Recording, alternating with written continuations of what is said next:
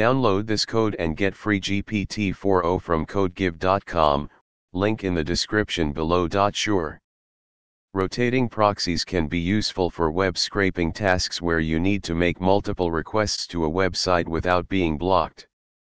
Here's a quick tutorial on how to rotate proxies in Python using the requests library and a proxy list. 1. Install the necessary libraries.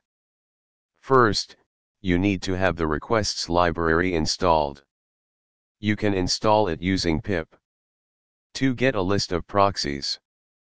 You can use free proxy lists available online or use a paid proxy service to get a list of proxies.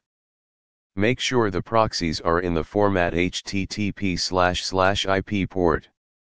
3. Create a Python script to rotate proxies. Here's an example Python script that rotates through a list of proxies and makes a request using each proxy. In this script, Replace https example.com with the URL you want to scrape. Add the list of proxies in the proxies list. The script makes a request to the URL using each proxy in the list and prints the status code of the response. 4. Run the script. Save the script in a file, example rotate underscore proxies.py, and run it using the following command. This script will rotate through the list of proxies and make requests to the specified URL using each proxy. That's it.